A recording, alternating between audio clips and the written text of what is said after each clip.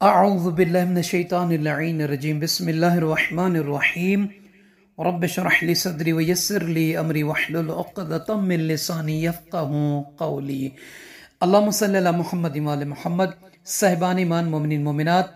پندرہ ماہ شبان المعظم کے اعمال میں سے ایک عمل، مغرب کی نماز پڑھنے کے بعد عشاء کی نماز پڑھنے سے پہلے یعنی اس کے درمیان، مغرب اور عشاء کے درمیان چار رکت نماز کا عمل ہے، جو رسول اللہ صلی اللہ علیہ وآلہ وسلم نے بیان فرمایا ہے۔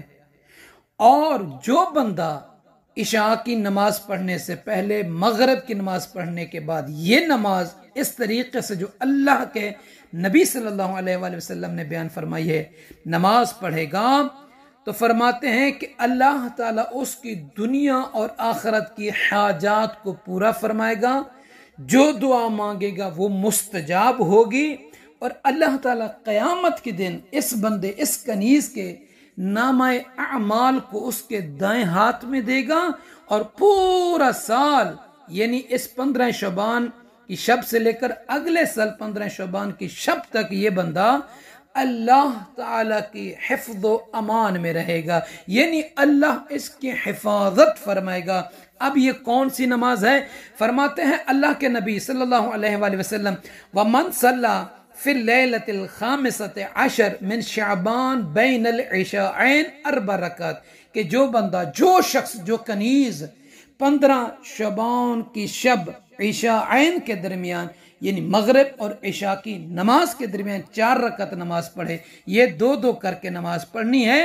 دو دو رکعت کر کے نیت یہ کریں گے کہ دو رکعت نماز پندرہ ماہ شبان الشب ماہ شبان المعظم کی شب کی پڑھتا ہوں یا پڑھتی ہوں؟ قربتاً اللہ اللہ اکبر کہنے کے بعد پہلی رکعت میں اور دوسری رکعت میں ایک روایت کے مطابق یہ ہے کہ الحمد کے بعد دس مرتبہ سورہ توحید کی تلاوت کرے۔ پہلی رکعت میں دوسری رکعت میں، پھر پہلی رکعت میں، پھر دوسری رکعت میں۔ الحمد کے بعد دس مرتبہ سورہ توحید کو۔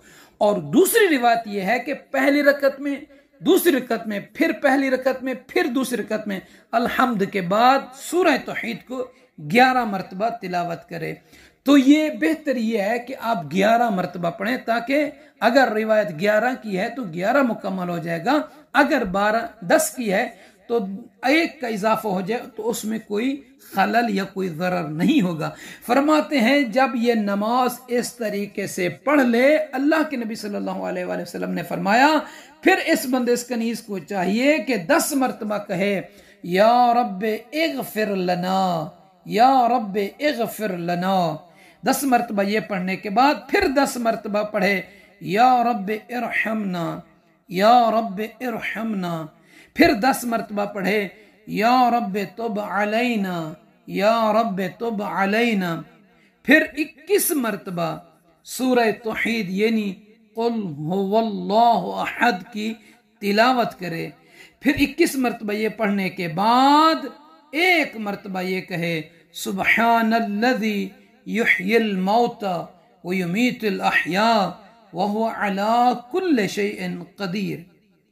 پھر اکیس مرتبہ یہ پڑھنے کے بعد دس مرتبہ یہ پڑھے، سبحان الذي يحيي الموتى ويميت الاحياء وہ علا کل شیء قدیر۔ فرماتے ہیں کہ جو بندہ اس طریقے سے یہ نماز پڑھے گا، استجاب اللہ تعالی له وقضا حوائجه فی الدنیا والآخرہ۔ دنیا اور آخرت کی حاجتوں کو پورا فرمائے گا، دعاؤں کو مستجاب فرمائے گا۔ وَأَعْتَاهُ اللَّهُ كِتَابَهُ بِيَمِينِهِ نم اعمال کو قیامت کے دن اللہ تعالی اس کے دائیں ہاتھ میں دے گا۔ وَقَانَ فِي حِفْظِ حفظ اللہ تعالی الى قابل کہ اگلے سال تک یہ بندہ یہ کنیز اللہ تعالی کی حفظ و امان میں رہے گا۔ تو مومنین سے عرض ہے کہ اس نماز میں ہمیں آپ ضرور دعاوں میں یاد فرمائیں گے۔ جزاک اللہ۔